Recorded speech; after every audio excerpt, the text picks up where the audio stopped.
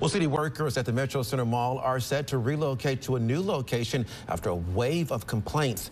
At today's weekly briefing, Mayor Chokwe Antar says city employees will move to 633 North State Street in the coming weeks. Now, mold, sewage backups, lack of ventilation, and other concerns were voiced at last week's city council meeting.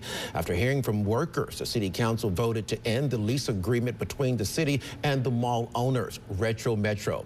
It was originally a 20-year lease that went into effect back in April 2011. And with the city set to vacate the Metrocenter Mall, what does this breach of contract mean for the taxpayers?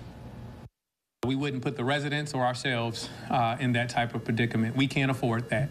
Uh, and so that's not our expectation. Uh, I won't get into legal strategy, uh, but what I am, anytime you end a lease, we're ending the lease and, and moving forward. It's not decided yet where JPD's Precinct 2 will relocate. We'll have a close look at the lease agreement in our 6 p.m. report.